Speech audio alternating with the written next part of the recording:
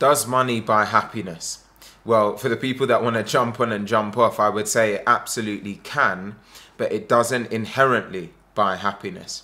So, what do I mean by this? Now, if you think about it, money really and wealth, let's say wealth creation, it's an accelerant to the person that you are fundamentally.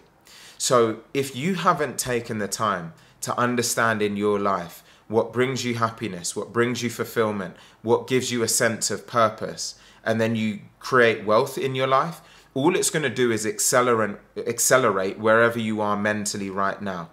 And so, if you are a person who has already taken the time to think about what's the vision I have for my life, what gives me a sense of fulfillment, am I on some form of continuous journey that keeps me fulfilled, that keeps me fueled in my day to day, and then you build wealth, you will accelerate the vision that you have. You will accelerate that happiness. You will accelerate that feeling of continuous improvement because you've already done the work that you need to do up front for that wealth creation to just be an accelerant.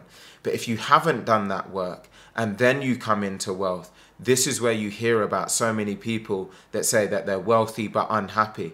This is where sometimes you hear about people who have won the lottery and then they end up going broke because they're not happy or they feel that they've lost a lot of the good people in their life and they just don't feel great. It's because they've not done that work up front to really understand who am I? How who am I trying to serve? What really drives me? What fuels me every single day? So money can absolutely not only buy happiness but be an accelerant to your happiness if you've done that work up front.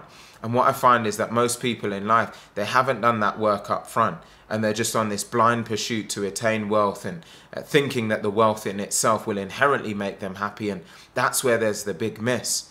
So if you're watching this video, take the time, get a piece of paper out, get your phone out, get your laptop out, and start to write out the moments in your life where you feel fueled, the moments in your life where you feel not only happy, but you feel like you're on a on a great journey, the things that you feel give you a sense of purpose.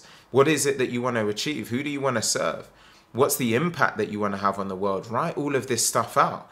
And then all that that wealth will do is accelerate whatever you've written on that piece of paper. It's not going to inherently make you happy, but it will be, you know, take you there further and faster. It will get you to the outcome quicker. And once you're there, you will feel much better about being there, again, because you've done the internal work. You've got to ask yourself, have I done the internal work that I need to do so that once I get to that point where that wealth is there, I continue to feel happier, I continue to feel more fueled and, and, and, and, and I'm taking steps forward in my life and feeling great about where I am.